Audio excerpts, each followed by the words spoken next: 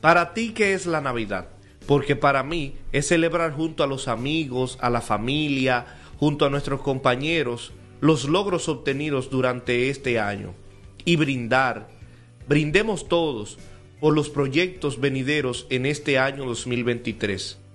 Te deseo, junto a toda la familia, Tendencia y nuestros proyectos, una feliz Navidad y un próspero año 2023.